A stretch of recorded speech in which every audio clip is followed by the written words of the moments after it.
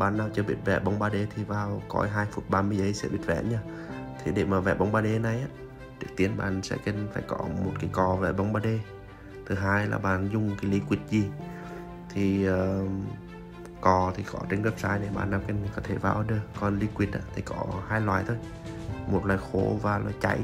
Thì bạn muốn vẽ nhấn và dễ vẽ thì các bạn dùng liquid khô còn vẫn có liquid khô mà các bạn xài liquid chảy á, thì các bạn nhớ nhỏ vài giọt acetone vào cho nó nhấn khô nha cho dễ dễ vẽ. Thì cái khó của cái bóng 3D này là các bạn đừng có vội nhé nếu mà các bạn vẽ vội á là nó sẽ ra bóng gì á phải bóng 3D đâu.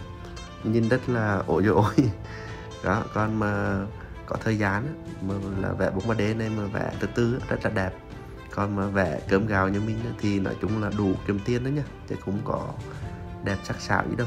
Nói chung là đủ kiếm tiền thôi. Đó thì bạn nào thấy ờ, hợp thì có thể tham khảo. Còn không thì thôi có giá trị cho vui thôi. Ok mình lấy cục bột này.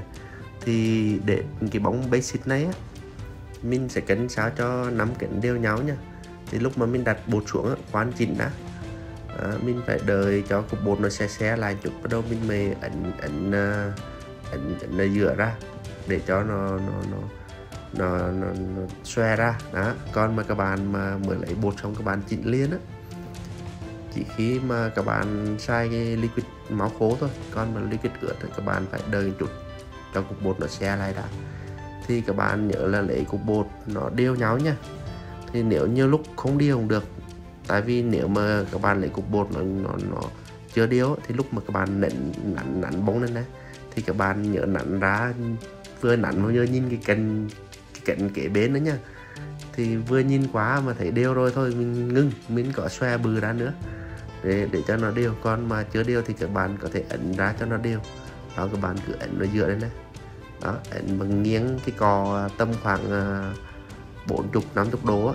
Đó, chứ đừng có năm quá. Năm quá là cái cái cái bóng, cái cạnh bóng nó xẹp xuống luôn.